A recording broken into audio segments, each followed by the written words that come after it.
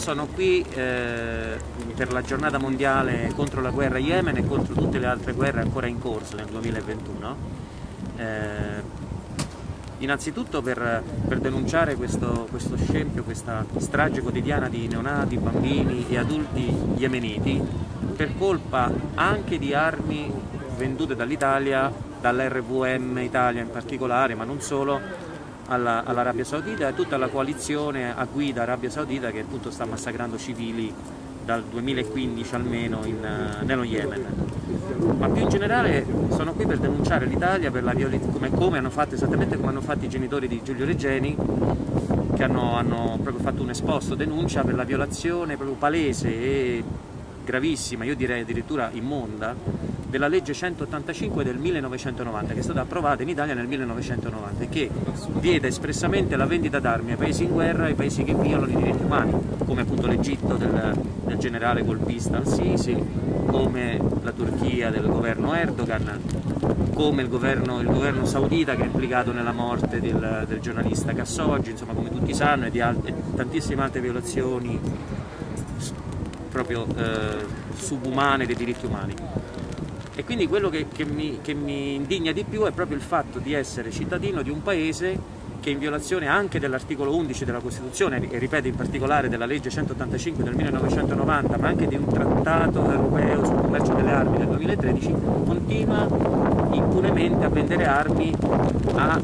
governi criminali che poi le usano per sterminare neonati, bambini, adulti e lo fanno quotidianamente, lo continuano a fare anche adesso, anche oggi, lo faranno domani.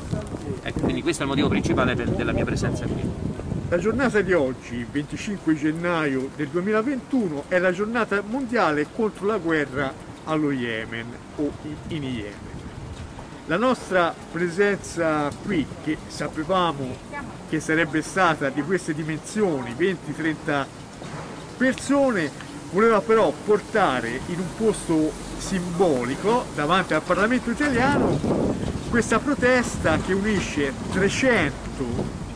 associazioni, più di 300 di associazioni di tutto il mondo e che anche in Italia ha avuto molte adesioni. La Yemen in realtà che viene definito il paese più povero del mondo si trova però in un punto strategico proprio tra dove eh, le due grandi, diciamo, grandi potenze della zona mediorientale del petrolio, Iran e Arabia Saudita, eh, sono, hanno un rapporto conflittuale da, da sempre, ambienti diversi del, dell'islamismo, da una parte Arabia Saudita, Emirati Arabi, dall'altra eh, Iran e questo che appoggiano l'uno. E in questo purtroppo e questa è una guerra che già è una cosa brutta e dolorosa l'altra cosa brutta e dolorosa è che i nostri paesi occidentali, Italia compresa, in questa guerra invece di mettere pace, primo vogliono fare i loro interessi geostrategici, secondo ci vogliono anche guadagnare soldi proprio vendendo armi di morte e e alcune industrie più ci sarà guerra e più avranno eh, guadagni nei prossimi anni, cioè è una cosa veramente brutta. Altre questioni in fatto di armi. Sappiamo tutti che è entrato in vigore il trattato sulle armi atomiche, l'Italia non ha aderito, mentre viene detto da alcuni sondaggi che la maggioranza degli italiani sarebbe a favore di eh, aderire a questo trattato che proibisce le armi atomiche. Quindi eh, bisogna, se, secondo me bisognerebbe fare un fronte comune di tutti quelli che condividono questa posizione e lavorare tutti insieme. Quindi è importante eh, questa questione, ora è importante. Secondo,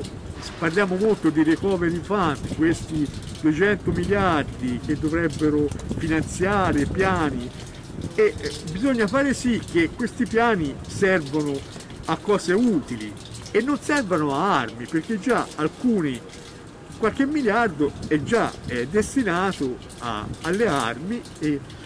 invece sarebbe utile destinare parte di questi soldi alla riconversione di industrie di armi. Questo, è, questo sono tre questioni che eh, poi ricordiamo anche oggi il 25 gennaio è il giorno in cui è stato scoperto la tragedia di Giulio Regeni. Noi continuiamo a vendere delle armi a, a questo eh, governo. Bisogna fare una piccola cosa nel nostro paese dare importanza alle, non a noi stessi ma alle parole. E quindi se tutti siamo contrari alla vendita di armi all'Egitto, dire no, non le vendiamo e magari trovarci tutti qui, chiamare il presidente Fico a parlare davanti a noi, visto che lui lo dice sui giornali, che lo dicesse davanti a mille persone, cioè bisogna un po', pandemia permettendo, però bisogna tornare in, in strada.